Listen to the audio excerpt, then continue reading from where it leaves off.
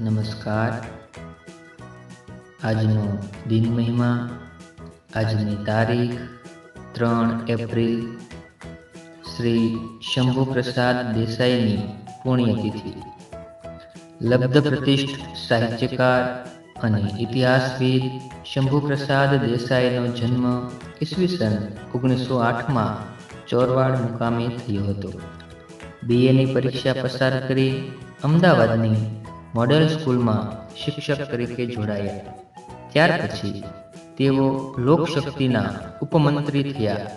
તેમણે પોતાના બાપ દાદાના ગ્રાસનો હવાલો સંભાળ્યો. હવે તેમણે બીજી એલએલબીની પરીક્ષા પસાર કરી દીધી હતી.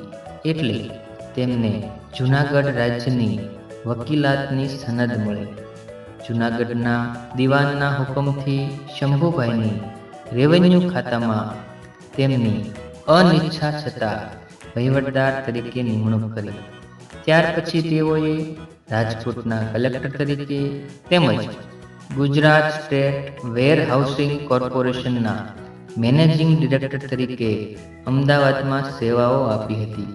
તેમણે કુલ તેતાલીસ ગ્રંથો લખ્યા છે, જેમાં ખાસ કરીને સૌરાષ્ટ્રનો ઇતિહાસ, પ્રભાસ અને સોમનાથ, જુનાગઢ અને ગિરનાર તારીખ એ સોરઠ વગેરે મહત્વપૂર્ણ દસ્તાવેજી ગ્રંથોનો સમાવેશ થાય છે.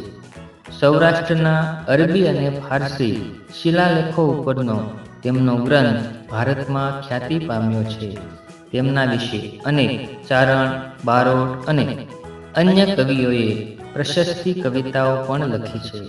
તારીખ ત્રીજી એપ્રિલ બે હજારના રોજ શંભુ બાપાએ આપણી વચ્ચેથી બાણું વર્ષની ચીર વિદાય લીધી. પણ તેઓ આપણા માટે સૌરાષ્ટ્રનો બોલતો ચાલતો ઇતિહાસ મૂકતા ગયા છે.